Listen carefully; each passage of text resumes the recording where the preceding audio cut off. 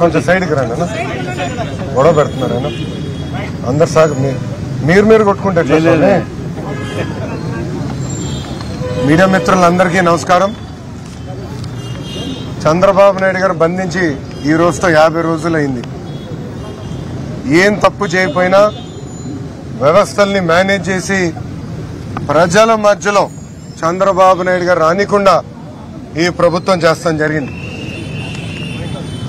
రాజకీయ కక్ష సాధింపులు మనం గతంలో చూసాం ఇప్పుడు మనం ప్రత్యేకంగా వ్యక్తిగత కక్ష సాధింపులు ఆంధ్ర రాష్ట్రంలో చూస్తున్నాం. రాజకీయ ప్రత్యర్థులు ఓడిపోవాలని వాళ్ళు ఓడిపోయేదానికి కష్టపడటం సహజమే. కానీ వ్యక్తిగత కక్ష సాధింపులు పెట్టుకుని అధికార పార్టీ నాయకుడు జగన్తో పాటు ఆయనతో పాటు వాళ్ళ మంత్రులు ఎమ్మెల్యేలు ఎంపీలు సలహాదారులు చంద్రబాబు నాయుడు గారు చనిపోవాలి చంద్రబాబు నాయుడు గారు చంపేస్తామని చెప్తాం. ఈరోజు ఆంధ్ర రాష్ట్రంలో ప్రజలందరూ కూడా చూస్తున్నారు. మొన్న వాళ్ళ ఎంపీ స్టేట్మెంట్ కూడా అనంతపూర్లో చూసాం. ఎగతాళి చేస్తారు. చంపేస్తామని చెప్తారు. జైల్లోనే చనిపోతారని కూడా చెప్తున్నారు. ఇంకో పక్కన కేసుకి ఎలాంటి సంబంధం లేని మా తల్లిని కూడా జైలుకు పంపిస్తామని వాళ్ళ పార్టీకి చెందిన మహిళా మంత్రి కూడా స్టేట్మెంట్ ఇస్తాం జరిగింది. నేను ఇప్పుడు అడుగుతున్నా సవాల్ ఇస్తున్నా యాభై రోజులుగా మీరు పీకిందేంటి? ఒక కొత్త ఆధారమైన ప్రజల ముందల పెట్టారా? స్కిల్ డెవలప్మెంట్లో కానీ ఇన్నర్ రింగ్ రోడ్లో కానీ ఫైబర్ గ్రిడ్లో కానీ చంద్రబాబు నాయుడు గారు కానివ్వండి వాళ్ళ కుటుంబ సభ్యులు కానివ్వండి మిత్రులు కానివ్వండి కంపెనీలు కానివ్వండి పార్టీ అకౌంట్ కూడా డబ్బులు వచ్చిందని యాభై రోజులుగా ఒక్క ఆధారం ఉన్న ఈ ప్రభుత్వం బయట పెట్టిందా అని ప్రజలందరిని ఆలోచించమంటారు ఇంతేకాదు skill development corporation chairperson Ajay Reddy నిన్న కాక మొన్న చాలా స్పష్టంగా అన్ని సెంటర్లు నడుస్తున్నాయి. ఎక్కడ ఒక్క సెంటర్ కూడా మూయలేదు అని చెప్తున్నారు. మొదటి రోజు నుంచి చెప్తున్నాం. తెలుగుదేశం పార్టీ మా అధినేత చంద్రబాబు నాయుడు గారు ఏం తప్పు చేయలేదు. మేము తిప్పి అన్ని ఆధారాలు ప్రజల్లో పెట్టాం. మా అకౌంట్లు కూడా గత పది సంవత్సరాలుగా ప్రజల్లో పెట్టాం. ఆనాడే చెప్పా దీనికన్నా ఒక్క రూపాయి ఉన్నా ఒక్క గజం ఉన్నా ఈ ఆస్తులన్నీ వాళ్ళు తిరిగి రాసిస్తానని. యాభై రోజులుగా వీళ్ళు పీకింది పొడిచింది ఏందని సూతిగా ప్రభుత్వాన్ని నేను ప్రశ్నిస్తున్నా. ఈ రోజు కూడా సవాల్ ఇస్తున్నా మీకు దమ్ము ధైర్యం ఉంటే ఆధారాలు ప్రజల ముందర పెట్టండి.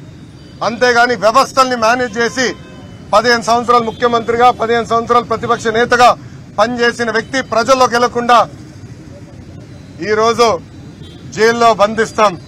చాలా చాలా అన్యాయం. మా తల్లి నిజం గెలవాలని ఈరోజు ప్రజల్లోకి వెళ్తే మా తల్లిని కూడా అరెస్ట్ చేపిస్తాము. అరెస్ట్ చేసి లోపలేస్తామని వాళ్ళ పార్టీకి చెందిన మంత్రులే చెప్తున్నారంటే ఇది వ్యక్తిగత కక్ష సాధింపు కాకపోతే ఏంటని ప్రజలందరినీ ఒక్కసారి మళ్ళీ ఆలోచించమంటున్నా. ఇంకా స్కిల్ డెవలప్మెంట్కి వస్తే చాలా స్పష్టంగా నేను మళ్ళీ చెప్తున్నా ప్రజలందరికీ మాకు కానీ మా కుటుంబ సభ్యులు కానీ బంధువులు కానివ్వండి మిత్రులు కానివ్వండి ఎలాంటి పాత్ర లేదు. చంద్రబాబు నాయుడు గారు పదిహేను సంవత్సరాలు ముఖ్యమంత్రిగా ఉన్నప్పుడు ఒక్క రూపాయి అవినీతి చేయలేదు. మా ఆస్తులు మా ఐటీ రిటర్న్స్ అన్ని ప్రజల కోట్లు పెట్టడం మేము సిద్ధంగా ఉన్నాం. గతంలోనే అన్ని ఆస్తులు మేము చెప్పాం. గత యాభై రోజులుగా ఒక్కటి కూడా నిరూపించలేకపోయారు. నేను మళ్ళీ ప్రజలు కూడా విజ్ఞప్తి చేస్తున్నా. ఈ సైకో జగన్ వ్యవస్థల్ని మేనేజ్ చేసి చంద్రబాబు నాయుడు గారు మన దగ్గర రాకుండా మన సమస్యలపైన పోరాడకుండా ఈరోజు నిర్బంధించారు తప్ప చంద్రబాబు నాయుడు గారు ఏ తప్పు చేయలేదు.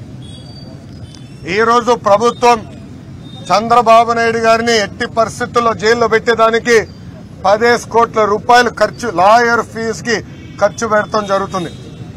అదే శ్రద్ధ ఈరోజు ఆంధ్ర రాష్ట్రంలో ముప్పై రెండు లక్షల ఎకరాలు ఎకరాల్లో పంట నష్టం జరిగింది.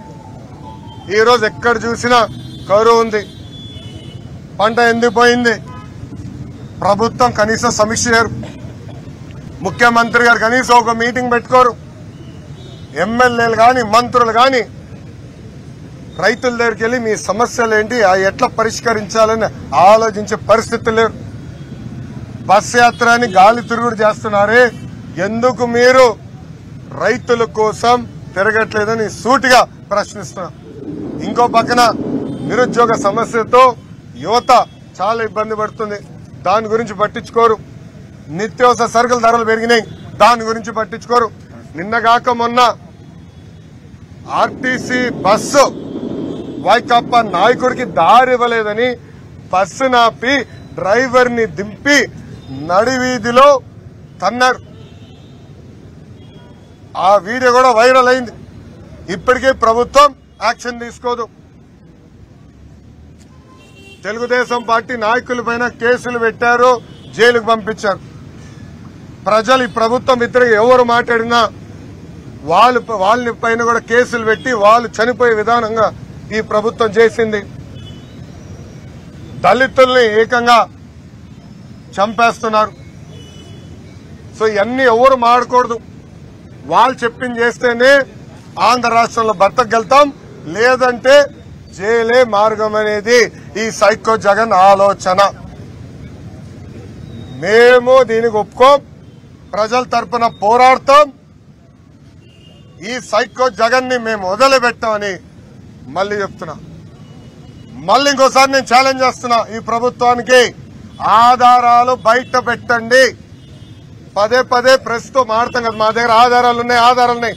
బయట పెట్టా దమ్ముంటే పెట్టు. అన్నిటికీ సమాధానం చెప్పేదాకా మేము సిద్ధంగా ఉన్నాం. అంతేగాని అన్ని వ్యవస్థల్ని మేనేజ్ చేసి మా నాయకుడిని ఈరోజు బంధిస్తే మేము ఊరుకోం. న్యాయ పోరాటం చేస్తాం. ఇప్పటికీ సెవెంటీన్ ఏ పైన జడ్జ్మెంట్ రిజర్వ్ అయి ఉంది.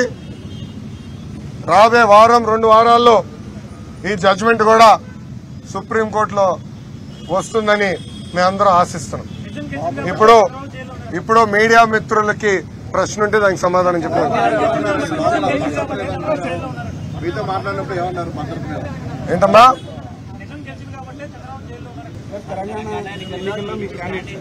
కాసాని జ్ఞానేశ్వర్ గారు హైదరాబాద్లో దానికి సమాధానం చేస్తున్నాను.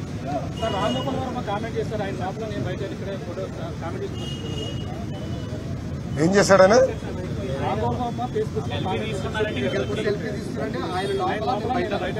సమాజానికి ఆయన ఏం చేశాడండి? నేను అడుగుతున్నా. చంద్రబాబు నాయుడు గారు పదిహేను లక్షల మందికి ఉద్యోగాలు కల్పించారు. ఒక సైబరాబాద్ తయారు చేశారు. ఆంధ్ర రాష్ట్ర విభజన జరిగిన తర్వాత దిక్కులేని రాష్ట్రానికి రాజధాని ఏర్పాటు చేశారు. అన్ని ప్రాంతాలని సమగ్ర అభివృద్ధి చేశారు. కియా మోటార్స్ తీసుకొచ్చారు. టీసీఎల్ హెచ్సిఎల్ ఫాక్స్కాన్ జోహో ఇలా వేలాది పరిశ్రమలు తీసుకొచ్చి ఆరు లక్షల మందికి ఉద్యోగాలు కల్పించారని ఈ ప్రభుత్వం ఒప్పుకుంది. అది చంద్రబాబు నాయుడు గారికి ఉన్న చిత్తశుద్ధి. ఆ మహానుభావుడు ఏం చేశాడు ఆంధ్ర రాష్ట్రానికి? ఏం చేశాడు? What is this contribution to Andhra రాష్ట్రం? ఏం చేశాడని ఆయన? నేను సమాధానం చెప్పాలా? భలే ఉన్నావు చెప్పారు వైద్యులు చూపిస్తే అధికారులు అక్కడ లేదు అవసరం లేదు మేము చేయించలేదని నిన్న కూడా అడిగి చేయించారంటే చేయించలేదు. అది అసలు ఏంటంటే వాళ్ళు చేయించడానికి ఈ లెవెల్ దాంట్లో ఏమైనా కోర్టుకి ఏమైనా ఎమ్మెల్యే ఎక్కించుకోవచ్చు మేము కోర్టులో మెరిట్ మీద పోరాడాలని నిర్ణయించుకున్నాం. ఈ ఇష్యూని పోరాడుతాం. దాంట్లో ఎలాంటి సందేహం లేదు. కావాలని చంద్రబాబు నాయుడు గారిని బయటికి రాకుండా ఈ ప్రభుత్వం విశ్వ ప్రయత్నాలు చేస్తుంది. వ్యవస్థల్ని మేనేజ్ చేస్తున్నారు. మళ్ళీ చెప్తున్నా వ్యవస్థల్ని మేనేజ్ చేస్తున్నారు దానికి అనేక ఉదాహరణలు కూడా ఇచ్చా. డాక్టర్లు ఒకటి చెప్తారు పోలీసులు ఒకటి చేస్తారు. జైలు అధికారులు కూడా పెద్ద స్వేచ్ఛ ఉన్నట్టు నాకు కనపట్లేదు నేను లోపలికి వెళ్ళిన తర్వాత కనీసం పదిసార్లు ఆయన ఫోన్ వచ్చి ఉంటుంది. రాహుల్ గారికి. ఎవరి దగ్గరికి వచ్చినా ఆయన సమాధానం చెప్పాలి. కానీ కనీసం పదిసార్లు ఫోన్లు వచ్చి ఉంటుంది నేను గమనిస్తున్నాం మొత్తం. సో అన్ని వ్యవస్థలు మేనేజ్ చేస్తున్నారు డాక్టర్లు కూడా మేనేజ్ చేస్తున్నారు. అందుకే మేము చెప్తాం. మేము ఈ ప్రభుత్వం పర్యవేక్షణలో ఎలాంటి పరీక్షలు తీసుకోవడానికి సిద్ధంగా లేవు వైద్య పరీక్షలకి సిద్ధంగా లేము మేము. మాకు ఈ ప్రభుత్వం పైన ఎలాంటి నమ్మకం లేదు. ఎందుకంటే సొంత బాబాయినే లేపేసినోడు సొంత తల్లిని చెల్లిని మెడబట్టి బయటికి గెంటేసినోడు ఇంకా వ్యక్తిగత కక్ష సాధింపులో భాగంగా మా నాయకుడిని ఇబ్బంది పెడుతున్నాడు వ్యక్తి జగన్. ఇంకా అలాంటి వ్యక్తి దేనికన్నా దిగజారుతాడు. సో అందుకే ఈ వ్యవస్థ పైన అయితే మాకు ఎలాంటి నమ్మకం లేదు.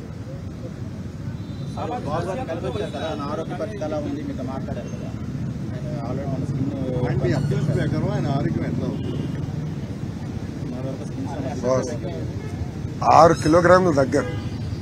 బాబు గారు అసలే ఆరోగ్యాన్ని చాలా జాగ్రత్తగా కాపాడుకునే వ్యక్తి. ఈరోజు ఈరోజు ఈ రోజు కూడా చూసా ఆరు కిలోమీటర్లు ఆరు కిలోగ్రాములు. కేజీలు తగ్గారు. ఒక కొడుగ్గా నాకు బాధ ఉంటుంది ఆవేదన ఉంటుంది. ఇది ఎందుకు చెప్తున్నానంటే ఆయనకి హెల్త్ కండిషన్స్ బై బర్త్ ఉంది హార్ట్ కండిషన్ అది ఆయన జాగ్రత్తగా మేనేజ్ చేసుకుంటూ వచ్చాడు. కానీ ఈ ప్రభుత్వం పెడుతున్న వేధింపుల వల్ల అదే విధంగా వ్యవస్థల్ని మేనేజ్ చేసి ఇంకా డాక్టర్లని మేనేజ్ చేసి అడ్డగోలుగా అన్ని రాస్తుంటే దాన్ని నమ్మేదానికి మేము సిద్ధంగా లేము. ప్రభుత్వం ఇప్పుడు చేస్తున్నటువంటి అనేక సంక్షేమ కార్యక్రమాల్లో చాలా అవినీతి చేస్తుంది. టీడీపీ దీనికి సంబంధించిన పోరాటం ఏం చేస్తారు సిబిఐ యాక్ట్ ఏమన్నా బాగుంటుంది ఇప్పుడు కొత్త ఆల్రెడీ మేము ఆల్రెడీ కొంతమంది ఎమ్మెల్యేలు చేస్తున్న అవకతవకల పైన నేను పాదయాత్ర చేస్తున్నప్పుడే ఈడీకి లేఖ రాశాను ఐటీకి లేఖ రాశాను దాని తర్వాత జరిగిన పరిణామాలు మీకే బాగా తెలుసు. ఎందుకంటే వాళ్ళు తప్పు చేశారు. అన్ని ఆధారాలతో సహా అన్ని ఆధారాలతో మేము రాస్తున్నాం. ఆల్రెడీ సిఏజీకి లేఖ రాశాం. ఇసుక పైన సివిసికి లేఖ రాయబోతున్నాం. ఇట్లా వాళ్ళు చేస్తున్న అక్రమ మైనింగ్ల పైన కూడా పెద్ద ఎత్తున మేము పోరాడుతున్నాం. ఒక పక్కన ఇంకో పక్కన మేము ప్ర- కేంద్ర ప్రభుత్వానికి కూడా లేఖ రాస్తున్నాం. వాళ్ళ పార్టీకి చెందిన ఎమ్మెల్యేలే మా ఓడు తప్పు చేస్తున్నాడని చెప్పి మైనింగ్ ఆ మైన్ చూసేదానికి వెళ్తే బంధిస్తుంది ప్రభుత్వం. నెల్లూరులో చూసాం కదా వాళ్ళ పార్టీ ఎమ్మెల్యేలే బంధిస్తుంది. ఇంకేం చెప్పాలి? వాళ్ళ పార్టీకి చెందిన ఎమ్మెల్యేలే చెప్తున్నారు కదా అవినీతి జరుగుతుందని. ఇంకేం కావాలి? దానికన్నా ఆధారం. నన్ను స్వామి? నన్ను అడిగితే ఎట్లా స్వామి? సిఐడిని మీరు అడగాల? వాళ్ళు హాజరు అవ్వమని రోజు నేను హాజరయ్యా. మొదటి రోజు ఏం జరిగిందో చెప్పా. రెండో రోజు అయితే దాదాపు మూడు గంటలు నన్ను రూమ్లో వదిలేసి వాళ్ళు వెళ్ళిపోయారు. ఎందుకు? వాళ్ళు భయపడిపోయారేమో అనుకున్నా. అడిగేదానికి ఏం లేక వాళ్ళు భయపడిపోయి పారిపోయారు అనుకున్నా నేనైతే అనుకున్నా. చెప్పే కదా మొదటి రోజు అడిగిన ప్రశ్నలే వాషింగ్ మెషిన్లో పెట్టి ఇటు తిప్పి అటు తిప్పి రెండు రోజులు నన్ను అడిగాను నేను ఇక్కడనే ఉన్నా స్వామి నేను ఎక్కడికి వెళ్ళలేదు కదా. నేను ప్రజల్లోనే ఉన్నాను ఎక్కడికి వెళ్ళలేదు కదా. పార్టీ బలోపేతం కోసం నేను కష్టపడుతున్నాను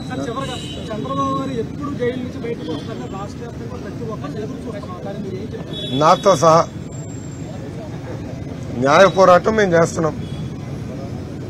కానీ ఏ తప్పు చేయని వ్యక్తిని వ్యవస్థల్ని మేనేజ్ చేసి యాభై రోజులు జ్యుడిషియల్ రిమాండ్లో పెట్టొచ్చని మొదటిసారి నేను తెలుసుకున్నాను. ప్రజలందరూ ఒకసారి ఆలోచించాలి మీడియా మిత్రులు కూడా ఒక ఆలోచించాలండి మొదటి రోజు నుంచి యాభై రోజు వరకు మేమేం తప్పు చేయలేదు. మేము రెడీగా ఉన్నాం. ఛాలెంజ్లు నేను ఇసిరా. ఆస్తులన్నీ కూడా స్వచ్ఛందంగా ఎవరు అడగపోయినా ప్రజల కోర్టులో మేము పెట్టాం. దానికన్నా ఒక్క రూపాయి ఉన్నా ఒక్క గజం ఉన్నా మీరు తీసుకోండి అని మేము చెప్పాం. మీరు ఒకటి గమనించండి. వైకాపా నాయకులు కానివ్వండి జగన్ కానివ్వండి ఆయన చుట్టుపక్కల ఉన్న బ్రోకర్లు కానివ్వండి జగన్ అవినీతి పరుడు కాదు అని ఏనాడు చెప్పరని దయచేసి ఆలోచించండి. గమనించండి. ఎందుకంటే తెలుసు. మా ఆవిడ ఒక అవినీతి పరుడు ఈ జగన్ జగన్ ఒక అవినీతి పరుడు ఒక దొంగ అని వాళ్ళు తెలుసు. అందుకే ఎప్పుడు జగన్ కూడా నేను అవినీతి పరుడు కాదు అని చెప్పడు వాళ్ళ మంత్రులు కూడా చెప్పరు. వాళ్ళ ఎమ్మెల్యేలు చెప్పరు. ఆయన చుట్టుపక్కల ఉన్న బ్రోకర్లు కూడా చెప్పరు. ఎందుకంటే వాళ్ళు చేసి పొద్దున్న నుంచి రాత్రి చేసే పనే అది. అలాంటి వాళ్ళు వ్యవస్థల్ని మేనేజ్ చేసి పది సంవత్సరాలు బెయిల్లో తిరిగారు. తిరుగుతున్నారు. పది సంవత్సరం. వాళ్ళ ఎంపీ కేక్ కటింగ్ కూడా చేశాడు కదా ఢిల్లీలో. పది సంవత్సరాలు బెయిల్ మీద తిరుగుతాడు. సొంత బాబాయ్ని లేపేసిన వ్యక్తి కూడా బెయిల్ మీద తిరుగుతాడు. సిబిఐలు వస్తే పోలీసు వాళ్ళు అడ్డంగా ఉంటారు. మీరు వచ్చేదానికి లేదని. ఆ స్థాయిలో వ్యవస్థను మేనేజ్ చేస్తున్నారు. ఇంకేమైనా డౌట్లు ఉంటే వ్యవస్థ మేనేజ్మెంట్ ప్రశ్న ఉంటే సమాధానం చెప్పి నేను సిద్ధంగా జగన్ లాగా పారిపోం మేము. ధైర్యంగా నిలబడి మేము మాట్లాడతాం నేను అడుగుతున్నా మీడియా మిత్రులు జగన్ ఏనాడే ప్రెస్ మీట్ పెట్టాడా? నాలుగున్నర సంవత్సరాలు ఏనాడే ప్రెస్ మీట్ పెట్టాడా? సాక్షి ఎక్కడున్నావు సాక్షి ఏడి? సాక్షి? ఏమ్మా? జగన్ ఏనాడు ప్రెస్ మీట్ పెట్టాడా? ఏం టీవీ నైన్ రాలే ఈరోజు? ఏమైంది టీవీ నైన్? ఏడు మైక్ లేదు? మైక్ చూపిస్తానా మైక్ చూపిస్తానా భయం? ఏం బా? అడగండి ధైర్యంగా అడగండి స్వామి. ఊకే టీవీలో ఏదంటే చేస్తాం కాదు. మీ మేనేజ్మెంట్కి ధైర్యంగా ఉంటే స్ట్రైట్గా అడగమను ప్రశ్నలు? ఎన్టీవీ గడున్నాడు ఎక్కడున్నాడు నమస్కారం. టీవీ నైన్ వాళ్ళు ఏదంటే అది వేస్తున్నారు. మేనేజ్మెంట్కి కొంచెం ధైర్యం ఉంటే స్ట్రైట్గా ప్రశ్న అడగమను. సమాధానం నేను చెప్తా. ఉన్నా ఇక్కడ. పారిపోలా గుర్తుపెట్టుకోమను. Thank you brother